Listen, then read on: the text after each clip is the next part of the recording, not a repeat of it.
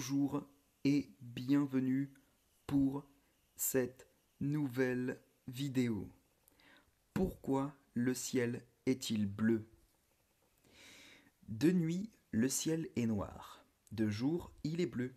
C'est le cas uniquement sur la planète Terre, dont l'atmosphère aux propriétés optiques particulières diffuse la lumière solaire principalement dans le bleu.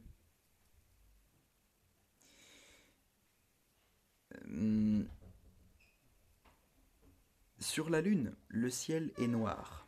Ainsi, quelle que soit l'heure, on distingue très bien la Terre, le Soleil et les autres astres.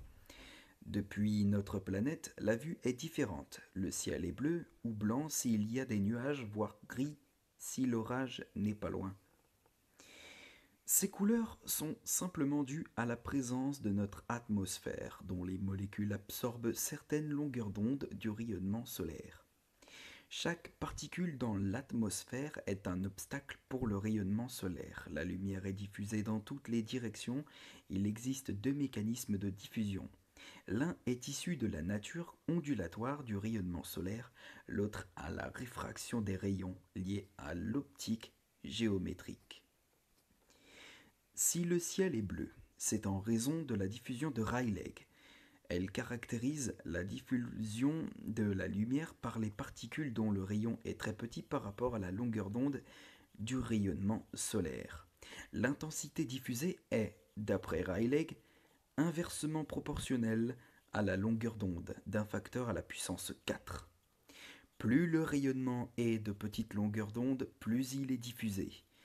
Ainsi, comme la lumière incidente est blanche, le bleu, d'une longueur d'onde de 400 nanomètres, sera beaucoup plus diffusé dans l'atmosphère que le rouge d'une longueur d'onde de 800 nanomètres.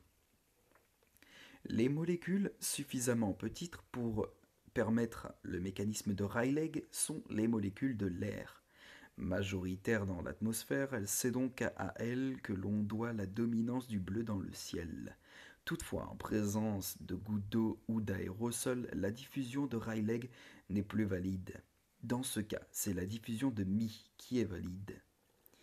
Celle-ci prouve que pour ces dimensions de molécules, la lumière diffusée conserve les caractéristiques spectrales de la lumière incidente. C'est la raison pour laquelle les nuages sont blancs.